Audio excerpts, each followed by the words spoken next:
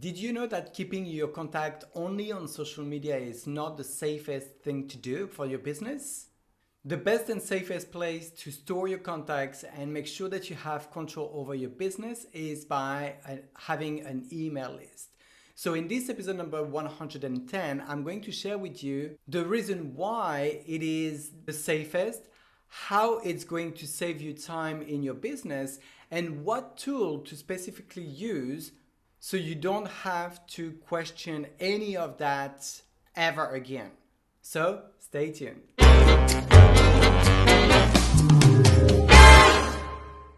Hey, hey, Thierry here from thierryvalexandre.com. I help makeup artists, network marketers, and entrepreneurs create an effective presence online so you can attract all the best qualified leads into your business and monetize your brand much faster, easier, and while having fun along the way. If you're new here, consider subscribing because each and every week I do create a new episode and attached to it, I'm giving you access to a PDF, cheat sheet, a guide of some sort that is there to empower you in your own way within your business.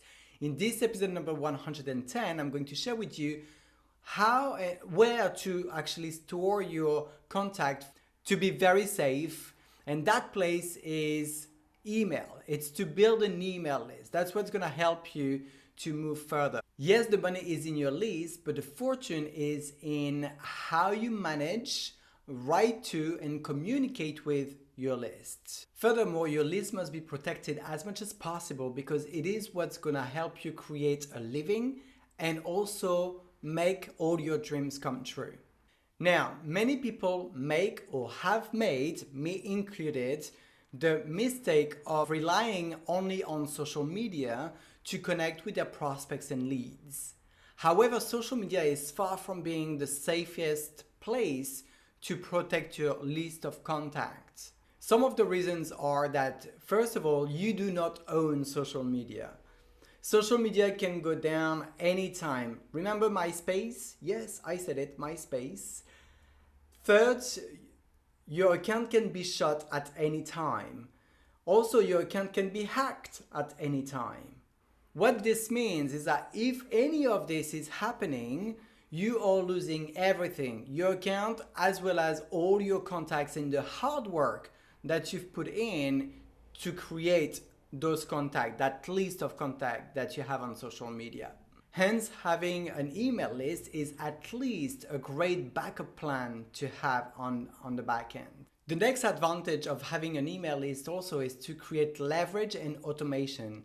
These two words are some of my favorite words. I'm not kidding. Literally, it has changed my entire business life, like how I do things. When you are building an email list, the last thing that you want to do is to having to send emails one by one. Having the right tool is allowing you to broadcast to all your contacts in that list that you created within this email provider and even automate the process so you can enjoy your life when your business is running.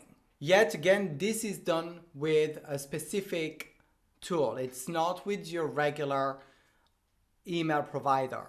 And as you know, each and every single week I'm giving you access to a cheat sheet, a guide, a PDF of some sort, or even further courses to empower you within your business. This week, because we're talking about email lists, I'm giving you access to a free five day simple list leverage challenge that is going that is going to help you create more leverage, more sales and more signups in less time than you ever imagined. So if you want to get access to this free challenge, free 5-day simple list leverage challenge, just click the yellow button below this video and that will be sent automatically into your email box. If you're on my YouTube channel or any other platform, just check the description section around this video somewhere. You will have a link that is going to take you back to my blog. Once you're there, again, below this video, you'll see a massive yellow button you cannot miss. Once you click it, you'll receive access to this free five-day challenge immediately in your email box. Now, as I said, a regular email provider such as Hotmail or Gmail will not provide you the leverage and automation features that you need in order to communicate with your list as a pro. What you need is an autoresponder email that we call, and that is the one that I found the safest and the easiest as well as the most affordable one that I found is called Aweber. You can actually even use their free uh, plan, which is giving you everything that you need. You'll be limited on certain features, like like the the amount of leads that you can create, but that's an advanced feature anyway. So go ahead with their free plans anyway. You'll you'll be well set, and when you're ready to go to the next level, you can upgrade to their uh, cheap plan anyway. The best, easiest, and most affordable platform that I found is called Aweber.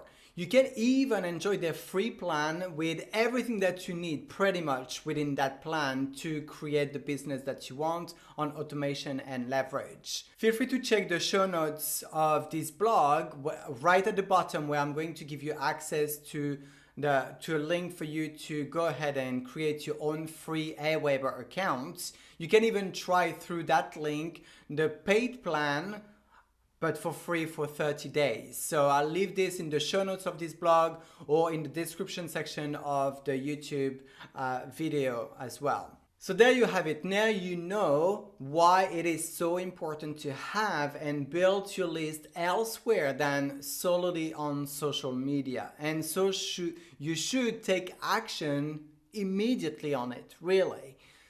And remember, I've got your back as well with the free five day simple list leverage challenge, which is going to help you create more sales, more leverage, and more recruits within your business so if you want to get access to this, just click the yellow button below this video and that will be sent automatically into your email box. Did you get value out of this episode? I truly hope that you did. If you did, of course, you know what to do.